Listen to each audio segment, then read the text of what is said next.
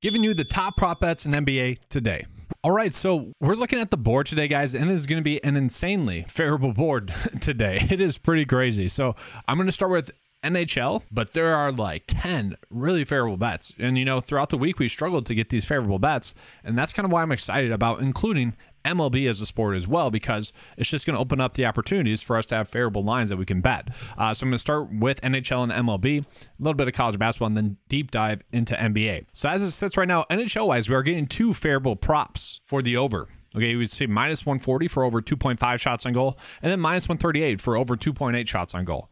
Very favorable there, so we'll take those odds. And for what it's worth, this is kind of interesting that the average sportsbook line has this line set at 2.5, and it's, you know, obviously it's favoring the under here, but not by much. I mean, this is kind of a push there. So just interesting there as well. So if we just pull it up here, we can see he has been over 2.5 shots on goal in all of the last four except for the most recent game. Okay, I'm guessing without looking at it, probably just some missed shots or something like that. So definitely a good bet on paper to get back to 2.5 shots on goal. And then we do have Alex as well. Uh, this was favored at minus 138 to get over 2.5 shots on goal. We can see over the last four games, he's been close to gain the over or he has gotten the over.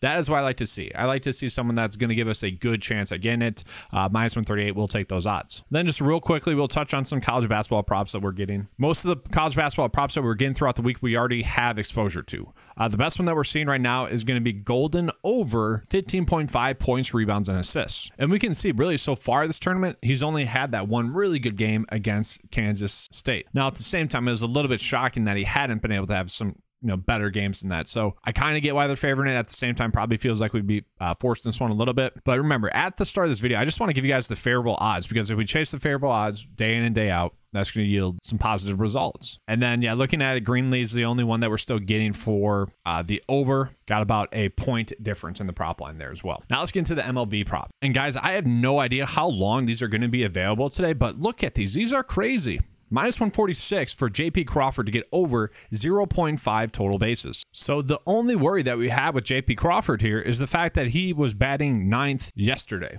Okay, he was able to get a walk, so that's that's encouraging. So obviously, I would say the biggest risk that we have is where he's batting. If he's only batting ninth, could be a little bit less opportunities to get some at bats. You know, we want to give ourselves, it's like NBA minutes. We want to give ourselves the most minutes in NBA DFS, and MLB, we we want to give ourselves the most at bat. And then with that, we're going to see a theme is that there are some teams that we kind of just want to be targeting. Okay. We got Hernandez over 1.5 hits, runs, and RBIs, and this is favored at minus 145. Now, this one I find very interesting. When 0 for 4 yesterday, did bat fourth, which is obviously a desirable spot. I maybe it's just the fact that he went 0 for 4 that the sportsbooks are saying, all right, he's going to have a good game. And it, it, has to do with the matchup as well, because a lot of the favorable props that we're getting are coming out of that game. We got another one, and these ones, the total bases, like it's it's fine. It's kind of like shots on goal, um, except for shots on goal. You know, a player can miss the net a player can get a shot blocked. Whereas this, it's just get on base. So here we can see he was batting fifth yesterday, was able to get on base one for five. Uh, obviously, like the volume of at bats. And so I'm just trying to go through the process of kind of why these are favorable bets. I mean, these are insane. We could keep going, guys.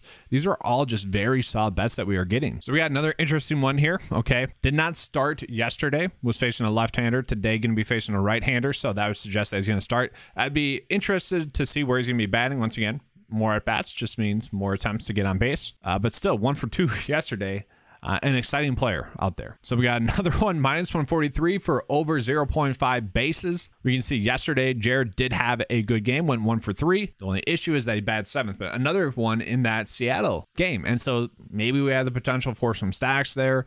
Um, but really, as the slate is kind of breaking down, I think we're just going to be chasing all these favorable odds that we are getting. And then we continue on, like Lance Lynn, we could roll with as well. Like these are all pretty good bets that we are getting out there. It's just crazy how many minus 140 or better bets that we are getting today in NHL or in MLB. And so like my bets of the day are literally just going to be loading up on these. Uh, and just hoping that they hit. And like we had the potential for those game stacks. And so just to show you guys here, like we had two of them from Seattle that we saw were favorable prop bets that we were getting. And obviously these day back to, oh, they actually are including spring. That's interesting. And so now, because of yesterday being opening day in MLB, we have 13 games in NBA DFS today. So there are going to be a lot of favorable lines that just open up throughout the day. Uh, hopefully, we'll have some favorable props to touch on in this video as well. Let's just go through the process like we typically would. So looking at it, like we already have Wagner popping up as one of the better prop bets on the day. Now it's only minus 132. Uh, and the assist is only favored slightly over. But if you guys have been watching my coverage, you know I've been really kind of using Wagner a lot lately just because the minutes have been there for him. And it's really a situation in which if the minutes are going to continue to be there, that's kind of a game that I want to continue to target. Like earlier on this season, he wasn't like really getting over 30 minutes, really, for the most part. I mean, 31, 32. Now he has seen spike games where he gets 39, 37. And so it does worry me a little bit that the last three games he's only gotten 32 minutes. It's a little bit worrisome but he has been shooting the basketball a ton. Okay, the matchup's pretty solid.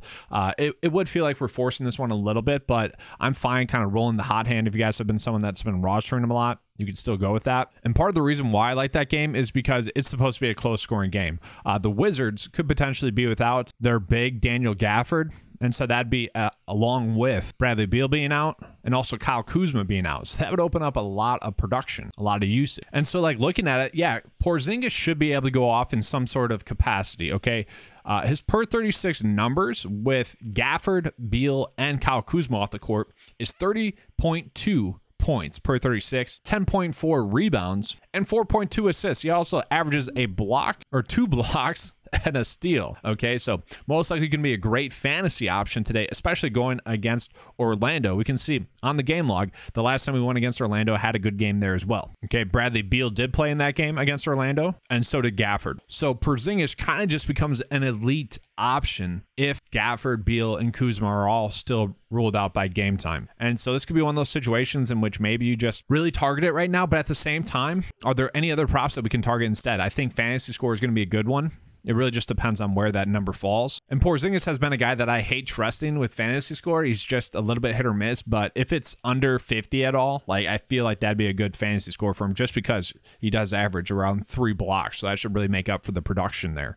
And if he is getting, you know, 10 rebounds, that's a lot. And so we could also potentially do over rebounds as well. Uh, let's just pull that up on the big board here as well. So the points and assists is actually the one that they're telling us to use.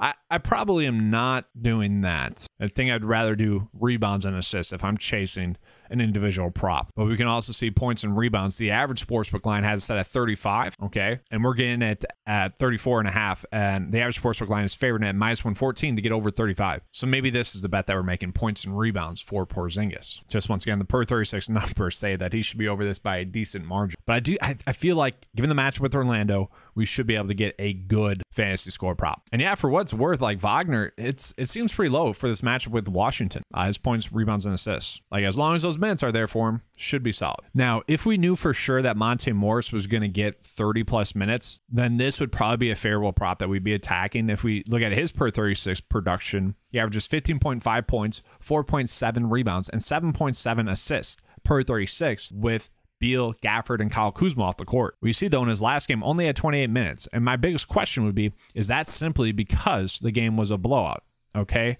Because we look at the last game against Orlando, did have 32 minutes in that game. Uh, Beal did play in that game though, and so the the next two games, 24 and 19. So that's a little bit concerning to me. It's very much a bet on the minutes, and so we can see kind of based off his averages thus far this season, we are seeing the the projections are all saying, yeah, he's probably not going to get there, but that's not adjusting for the per 36 production. I'm curious. I just want to see his projected minutes on tonight's slate. 28. If he does get 28, he should be able to get there in some capacity, whether it is points and rebounds, which he should be able to get there just in points if it's per 36, but that's we're missing out on like eight minutes there. So I guess it is a little bit of a tight line there. But I do think there's a little bit of a, a stack opportunity there. Porzingis, Wagner, and then maybe Monte Morris. And then there's kind of another exciting game earlier or on the early part of today's NBA slates because OKC is going to be without SGA and Haliburton is going to be out for the Pacers. And if the Pacers are going to be without Miles Turner as well, who's currently a game time decision, that could open up a lot of favorable props. That's going to be a fun game to stack. And so right now, we're not getting any props for Jalen Williams, L E N Williams, not Jay Williams with a Y. And this, I don't know, this feels a little bit too tight for Josh Giddey.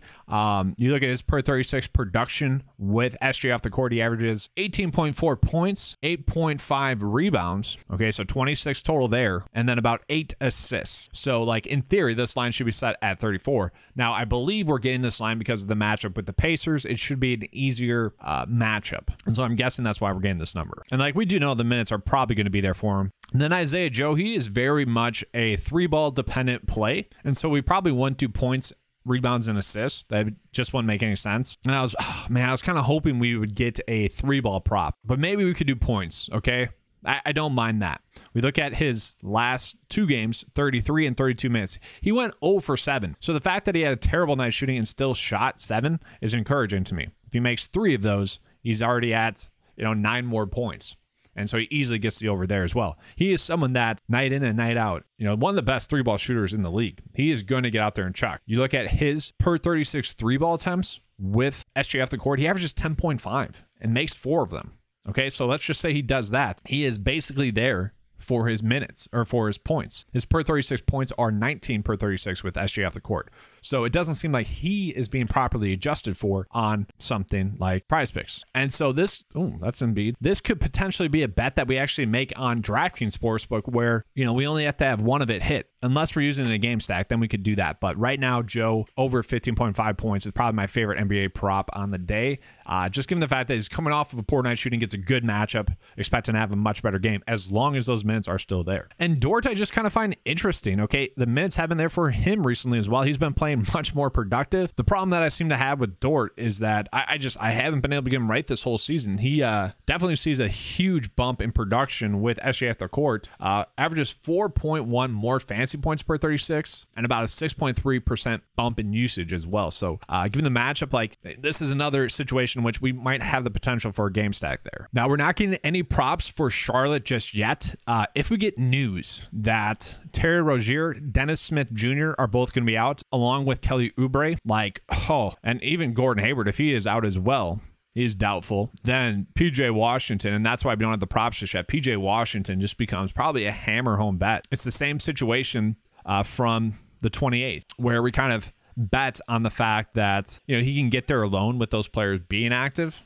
But if they're out, his usage goes off the charts. And so if we look at his production with Hayward, Rozier, Oubre, and Dennis Smith Jr. off the court, and LaMelo Ball. It's not a big sample size, but he averages about 8.4 in usage rate, a uh, bump in usage rate of about 8.4%, averaging about 5.7 more points per 36. And for what it's worth, if they're all out, uh, JT Thor could have some appealing props as well. Uh, so maybe I'm going to be busy this weekend, uh, leaving kind of early this Friday. Maybe I can come out with a quick afternoon video as well, because there could be some potential for some really strong lines there out of Charlotte. And then kind of same thing for Utah as well. Boston is coming in off of a back to back. So you know, they could potentially struggle.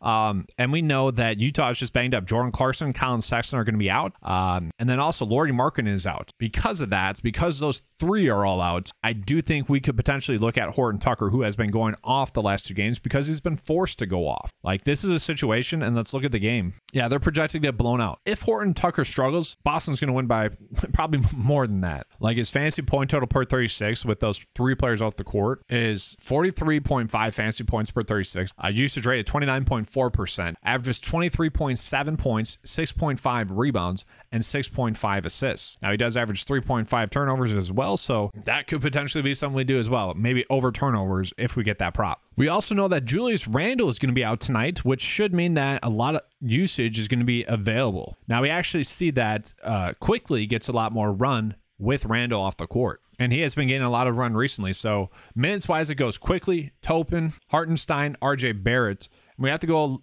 pretty far down to get Jalen Brunson minutes, but I think that's just a situation in which the backups were playing when Randle wasn't, because obviously Randle gets heavy minutes. The New York players get heavy minutes as is. So Quickley could be someone we're looking at, though. I do think we will probably see a smaller lineup here. Um, I'm not saying Quickley will start, but definitely interesting there. But right now, the prop that we're getting is Jalen Brunson. And so his sample would be 25.8 points per 36 which with Julius Randle off the court, 3.1 rebounds, and 7 assists. So if we combine the rebounds and assists, that's about 11. And then attach that to points, it's about 37 points or so, 36. So yes, the matchup with Cleveland is difficult. And so it, it's probably a stay away.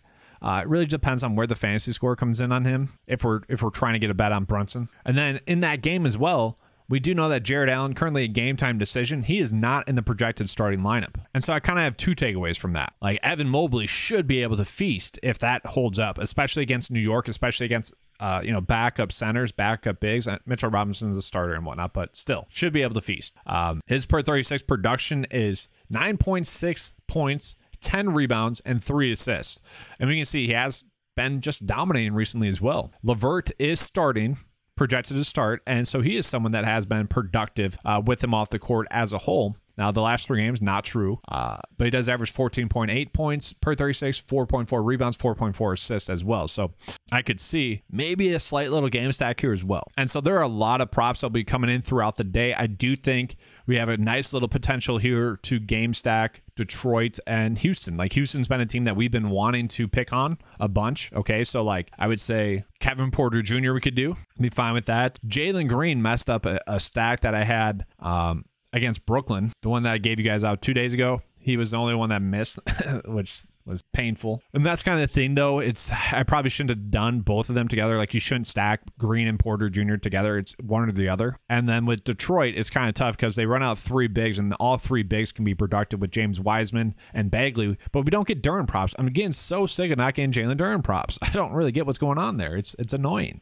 at this point it's very annoying. But that's a game that should stay close, and I think it's going to be a little bit easier to score. Like I, th- I feel like this number is a little bit too low here. And then lastly, I find it very interesting that we are getting a Keldon Johnson prop in general, simply due to the fact that he is a game time decision. But like he would probably just be a load up on type of prop today at this current number. 31.5. And I know it's a matchup with the Warriors, I'm sure they're expected to get crushed. 18 point. It is crazy the amount of blowouts we've had, like just the the numbers. And that does make it a little bit tougher to predict. Um, you know, obviously day in and day out. But Keldon Johnson with Zach Collins, with Jeremy Sochan, and let's tossing Jakob Poeltl into that sample has been going off per 36, averages 4.7 more points or fantasy points per 36, has a bump in usage of about 5.9% to give him a usage rate of 33% per 36 with those three players off the court. Averages 28.5 points per 36, 6.9 rebounds, and 3.3 assists. The question here, again, would be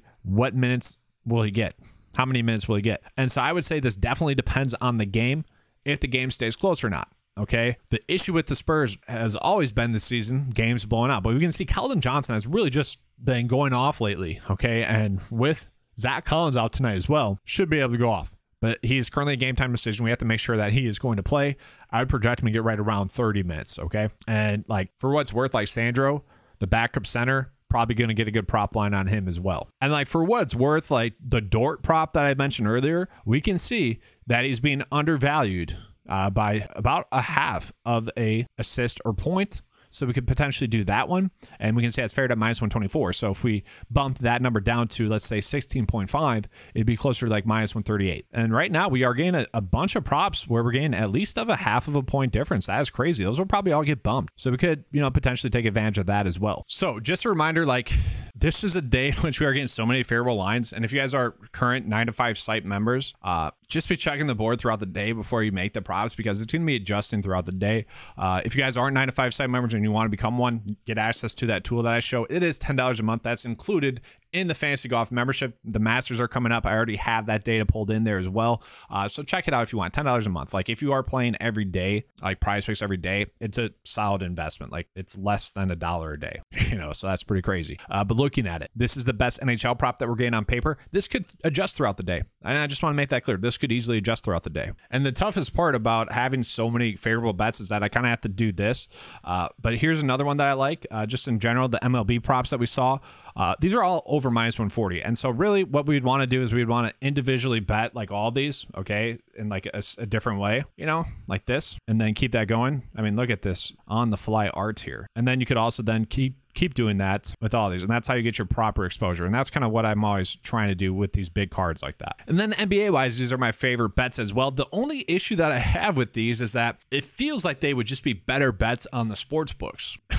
because, you know, odds wise, they're all favored as kind of pushes. And we're really just chasing per 36 production. But that's kind of the beauty of late season NBA DFS is that it's tougher for the really data to adjust for it completely. And so we are getting some favorable lines here. I am continuing to roll with Wagner. I'm not really suggesting that you do that, although it's a favorable matchup. And we do have that little bit of a stack that we could potentially do there. You know, those should correlate together uh, with Kevin Porter. It's either him or Jalen Green. Okay. One of those two are going to have a good game in that matchup. And then Keldon Johnson, currently questionable, should be able to have a good game. Okay. And then Evan Mobley, just per 36 production against New York and some backup pigs with Evan Mobley off the court. And it is predicated on Mobley being out. He's only currently questionable. If he plays, like that makes this prop tighter for sure. Okay. But that's all, guys. I know it was a jam packed video. Hopefully, you guys enjoyed it. Just a reminder if you guys want access to that tool, it is available for $10 a month. Uh, great prop tool. It updates throughout the day. Let's have a good slate, guys. Um, been batting about 50% the last two days, which personally I would somewhat take. Obviously, I want to be closer to about 60% per day.